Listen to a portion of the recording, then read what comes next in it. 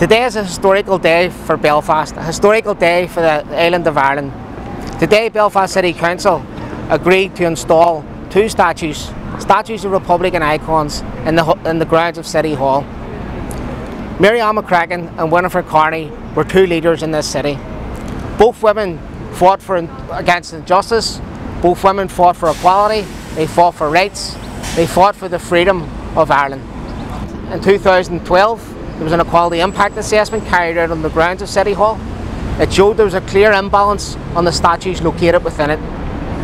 It showed that they were predominantly white, they were predominantly male, predominantly British, predominantly Protestant, and they weren't a fair representation of, of the society we live in today. So Sinn Féin brought forward a proposal for a statue of Winifred Carney in 2017 to address that imbalance. That was initially met with some resistance, but it generated debate and finally today we've got a consensus of installing two statues to address that imbalance.